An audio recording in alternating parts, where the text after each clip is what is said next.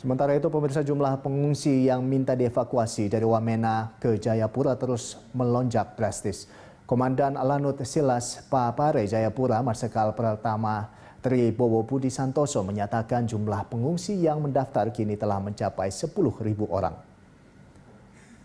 Jumlah pengungsi yang telah dievakuasi dari Wamena ke Jayapura hingga sore kemarin berjumlah 2.670 orang. Berdasarkan data Polda Papua, jumlah pengungsi akibat kerusuhan mencapai 8 ribuan orang. Sebagian besar pengungsi kini ditampung di markas Kodim dan Polres Jayawijaya. Namun jumlah ini diperkirakan dapat bertambah sebab hingga kini masih bermunculan arus pengungsian baru dari sejumlah kabupaten di sekitar Jayawijaya.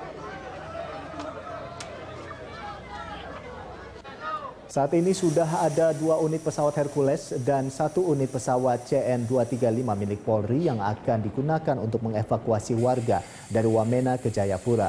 Untuk mengevakuasi seluruh pengungsi diperkirakan akan memerlukan waktu beberapa hari mengingat terbatasnya armada yang dimiliki.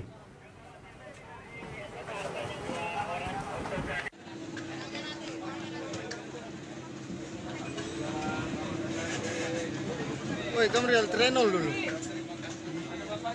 Oye,